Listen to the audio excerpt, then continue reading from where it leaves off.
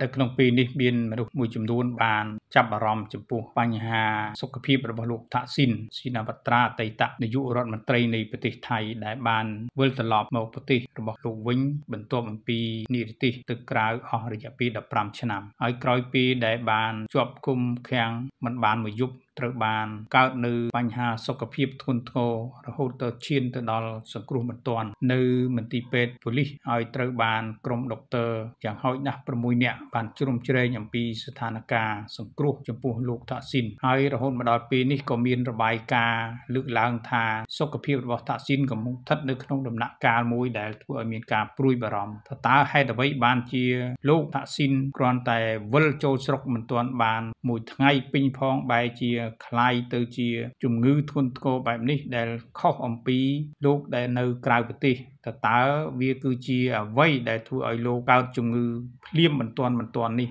អ្នកខ្លះថាគឺជាជំងឺធ្វើពុតដើម្បីលើកលែងនឹងការស្នើសុំលើកលែងទោសឬក៏នៅក្រៅឃុំជាដើមប៉ុន្តែអ្នកខ្លះជាពិសេសគឺផ្នែកវិជ្ជបណ្ឌិតបានលើកឡើងថាវាមិនមែនជារឿងដែលធ្វើមានការមិនពិតឬក៏មានការបោកបញ្ឆោតមហាជននោះទេ គឺ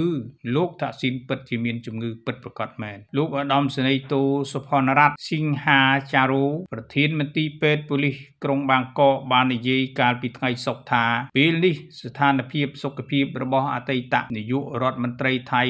លោកថាក់ស៊ីនស៊ីណាវត្រា កំពុងតែស្ថិតនៅក្នុងដំណាក់កាលព្រួយបារម្ភយ៉ាងខ្លាំងលោកវិជ្ជបណ្ឌិតផ្នែកវះកាត់រូបនេះបានបញ្ជាក់ទៀតថាទោះជាសុខភាពរបស់លោកថាក់ស៊ីនស្ថិតនៅក្នុងដំណាក់កាលដ៏គួរឲ្យព្រួយបារម្ភយ៉ាងណាក៏ដោយក៏ប៉ុន្តែខាងមន្ទីរពេទ្យនឹងមិនបញ្ជូនលោកទៅកាន់មន្ទីរពេទ្យឯកជនផ្សេងទៀតដើម្បីធ្វើការព្យាបាលនោះទេបច្ចុប្បន្ននេះអតីតនាយករដ្ឋមន្ត្រីថៃវ័យ74ឆ្នាំរូបនេះកំពុងតែសម្រាប់ព្យាបាលជំងឺលើសឈាម នៅមន្ទីរពេទ្យប៉ូលីសជាន់ទី14នៅក្នុងបន្ទប់លេខ1401ក្រោយបញ្ជូនចេញពីមន្ទីរពេទ្យរបស់នាយកដ្ឋានអប់រំកែប្រែ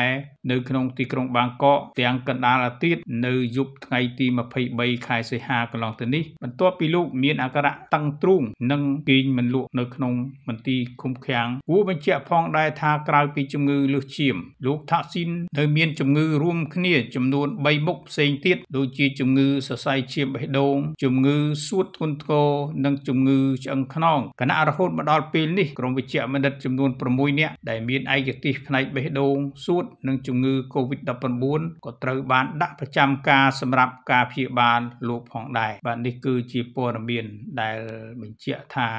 លោកថាក់ស៊ីន គឺពិតជាមានជំងឺពិតប្រាកដមែនក្រៅអំពីជំងឺលើសឈាមលោកថាក់ស៊ីនមានជំងឺ3មុខផ្សេងទៀតគឺជំងឺសរសៃឈាមបេះដូងហើយនឹងជំងឺសួតធ្ងន់ធ្ងរហើយនឹងជំងឺឆ្អឹងខ្នងដែលជាសិតតែជាមេជំងឺនេះគឺជាជំងឺដែលធ្ងន់ធ្ងរហើយកំពុងតែត្រូវបានព្យាបាលដោយក្រុមគ្រូពេទ្យនៅក្នុងមន្ទីរពេទ្យរបស់ប៉ូលីសហើយគេមិនហ៊ានយកលោកទៅមន្ទីរពេទ្យស៊ីវិលឯកជននោះទេដោយសសារតែលោកស្ថិតនៅក្នុងការជាប់ចោតនៅក្នុងអ្វីដែលក្រមប៉ូលីសតាមឃ្លាំហើយនឹងការពារយ៉ាងជិតស្និទ្ធនៅក្នុងការចេញចូលដើម្បីសួរសុខទុក្ខនោះក្រៅអំពីសាច់ញាតិគឺចំនួន10នាក់มันអាចឲ្យអ្នកផ្សេងចូលលើសពីចំនួននេះទេហើយការចេញចូលនេះឯងគឺសិតតែមានការសុំច្បាប់ជាមុនมันអាចនឹកឃើញ ចូលឬក៏ចេញបាននោះទេចឹងហើយគឺជាការមួយដែលត្រូវបានគេគិតឃើញថាកំពុងតែជាប់នៅក្នុងការឃុំឃាំងបើទោះបីជាមានការព្យាបាលมันអាចជាការព្យាបាលដោយសេរីហើយมันមានវិធានការការពារនោះទេប៉ុន្តែយ៉ាងណាក៏ដោយនៅក្នុងគណៈពេលមិនយូរនោះទេបើសិនជារាជរដ្ឋាភិបាលកូនស្រីរបស់